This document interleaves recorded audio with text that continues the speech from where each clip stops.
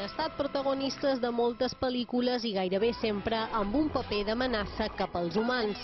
Parlam de plantes carnívores, una flora envoltada de molts de mites, com per exemple que mengen persones.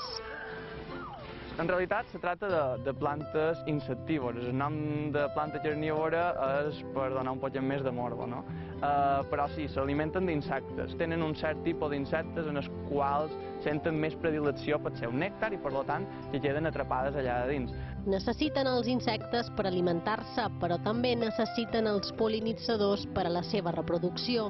Si la planta necessita polinitzar-se, no li interessa en cap moment matar el seu, el seu polinitzador. Per tant, primer de tot, sempre produirà la flor i un pit que s'hagi produït la polinització començaran a sortir les noves trampes. Trampes que, segons el moviment, es poden classificar en tres tipus. Trobant les trampes actives, les trampes semiactives i les passives, com el seu nom indica, les trampes actives són aquelles allà on hi ha un moviment ràpid de, de la fulla i aquí trobam pues, la típica Venus atrapa mosca, o la Dionea mustípula, dins el grup de trampes semiactives, que aquestes són les que es movim, se produeix un moviment, però és un moviment molt més lent, en qüestió de 20 minuts a 24 hores, i després hi ha dins les trampes passives, que són les de gènere Nepenthes, i aquestes no experimenten cap tipus de moviment, però curiosament són les que més llacen en diferència. També es poden organitzar segons la seva procedència. Alguns són de clima mediterrani, originàries del nord d'Amèrica, i d'altres de clima tropical, localitzades al sud-est asiàtic.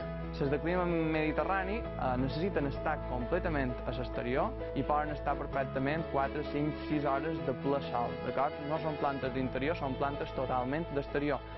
I en canvi després tenim aquestes plantes d'aquí, que són de clima tropical, que si bé eh, poden estar perfectament a l'exterior a partir de primavera en els nostres climes, perquè són climes, nosaltres tenim hiverns bastant suaus, sí que és cert que durant l'hivern, quan les temperatures baixen per davall de 10-8 graus, sí que les haurien d'entrar dins casa, perquè recordem que són plantes de clima tropical.